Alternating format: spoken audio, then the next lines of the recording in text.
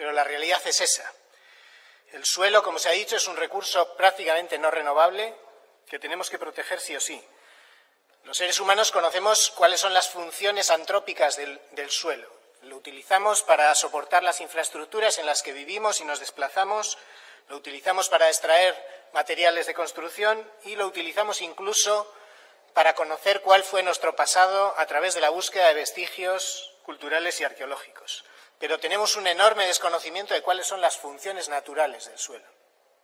Apenas sabemos, y antes lo ha mencionado la señora López de Ocariz, que el suelo es como una enorme esponja que retiene el agua y evita riadas e inundaciones, pero a la vez sirve para filtrarla y para depurarla y llevarla a los acuíferos. El suelo regula el clima, suaviza los cambios de temperatura y retiene el carbono que han fijado las plantas. El suelo nos provee de alimentos, pero también nos provee de energía a través de la biomasa y la leña. Y el suelo, en definitiva, es el hábitat de multitud de seres vivos. Agua limpia, alimentos, energía, clima estable. Deberíamos de concluir que sin unos suelos sanos la supervivencia del ser humano está comprometida. ¿Está realmente comprometida? Pues la, la, respuesta es que sí. Ahora mismo un tercio de los suelos del planeta están moderada o fuertemente degradados. Y en África ese porcentaje asciende al 40%. No es de extrañar que sin agua limpia, alimentos y energía sea África precisamente el continente que ahora mismo está eh, teniendo mayores, mayores índices de hambruna, de pobreza, de inmigración, etcétera.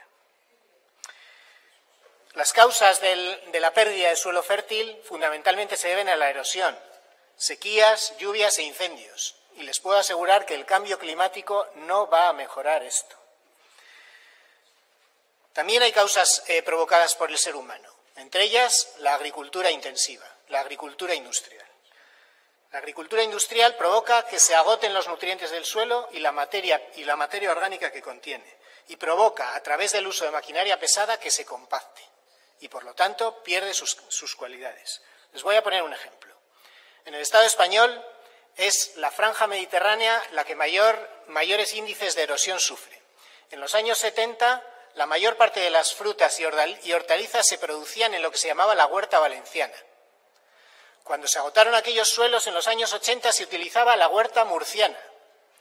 En los 90 utilizábamos los invernaderos almerienses. Y en los años 2000 dimos el salto y empezamos a producir las frutas y las verduras en Marruecos. En los años 2010, aunque les parezca mentira, ya se están cultivando en el Sáhara, todavía más abajo, utilizando las aguas relícticas que el Sáhara alberga desde hace 5.000 años. Y esto es insostenible. ¿A dónde vamos a ir en la siguiente década? ¿Dónde vamos a producir los alimentos? En Euskadi también tenemos problemas. Tenemos problemas de erosión fundamentalmente provocados por la mala gestión que se está haciendo de nuestros montes. Estamos llenando nuestros montes de pinos y eucaliptos que acidifican el suelo y lo hacen inviable para cualquier otra función productiva. Y buena parte de nuestros principales cultivos estrella son eh, causantes de erosión directa, y me estoy refiriendo en, en, Araba a la vid y en Vizcaya y en Guipúzcoa al chacolí. Y no estamos haciendo nada en este sentido. Pero sí podríamos hacer, podríamos hacer mucho más.